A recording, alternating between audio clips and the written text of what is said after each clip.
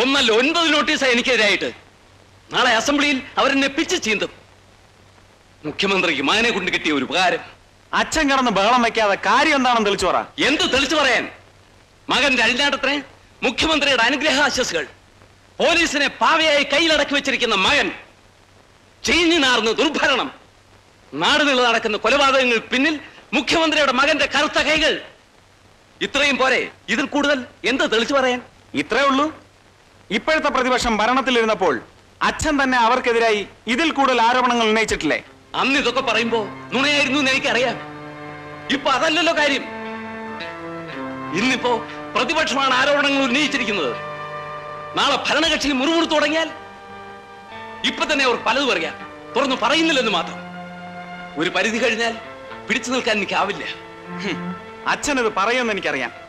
എല്ലാം തുറന്ന് സമ്മതിച്ചേക്ക്. എന്നിട്ട് പീലാത്തോസിനെ പോലെ കൈ ഒഴിക്കോ ഞാൻ അകത്ത് കിടന്ന് കമ്പി എണ്ണിക്കോളാം. പോരെ. ശേരൻകുട്ടി എന്താ? നട്ടല്ലില്ലെങ്കിൽ ഈ വേഷം ധരിക്കരുതായിരുന്നു. പള്ളിക്കുടം മാതിയാരായിട്ട് കഴിഞ്ഞാ പോരായിരുന്നോ? ലക്ഷക്കണക്കിന് രൂപ മുടക്കിയിട്ട ഈ നിലയിലെത്തിയത്. എം എൽ എമാരെ ചാക്കിലാക്കാനും ഇറക്കാനും കാശ് എവിടെ നിന്നുണ്ടായെന്ന വിചാരം? അന്നേ അറിയാൻ പാടില്ലായിരുന്നോ? ഏലപ്പാറ എൽ പി സ്കൂളിലെ വെറും വാദിയാര് കേരളം ഭരിക്കുന്ന മുഖ്യമന്ത്രിയാവണമെങ്കിൽ പലതും സഹിക്കേണ്ടി വരുമെന്ന്? എന്തുണ്ടായിരുന്നു അവകാശപ്പെടാൻ പാരമ്പര്യമായിട്ട്? ഒന്നര സെന്റ് ഭൂമിയും ഒരു ഓലപ്പുരയും മുഷിഞ്ഞു നാറിയ ഒരു കതർ ഷർട്ടുമല്ലാതെ. ഇത് മുഴുവൻ കാശ് കൊണ്ടുണ്ടാക്കിയതാ. വെറും കാശ് കൊണ്ട് മാത്രം. അന്നൊക്കെ ശേഖരൻകുട്ടി ആവശ്യം പോലെ ഉപയോഗിച്ചില്ലേ? ഇന്നെന്താ മകനെ വേണ്ടാതായത്?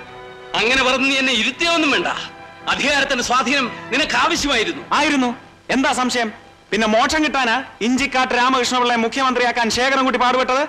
ശേഖരൻകുട്ടി